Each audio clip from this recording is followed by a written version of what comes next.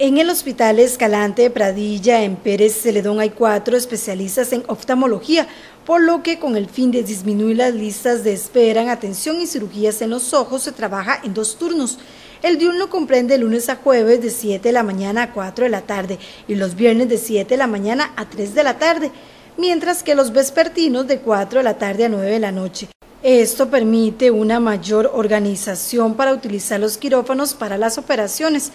De esa manera pudimos abrir más los días quirúrgicos, porque como ustedes ven, el hospital tiene unas salas de operaciones que solamente tenemos cinco salas de operaciones, que realmente es pequeño para la cantidad de cirujanos que somos y para la cantidad de pacientes. Entonces, ¿qué es lo que pasa? Que nuestras listas de espera cirugía eran mayores.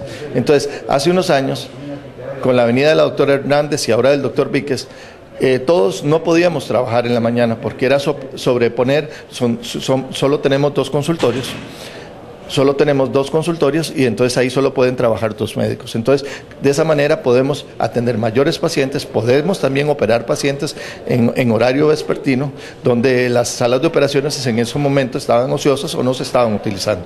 El 90% de las cirugías es ambulatorio. Normalmente, bueno, 9 de la noche, porque acuérdese que el paciente tiene que recuperarse. Sí, sí, los pacientes de la tarde tratamos que sean pacientes que sean de zona cercana, porque la gran mayoría, en un cerca de un 90% de nuestros pacientes, son cirugía ambulatoria. No es cirugía, no es cirugía con paciente internado. Son muy pocos los pacientes que nosotros tenemos que internar para hacer la cirugía de ojos.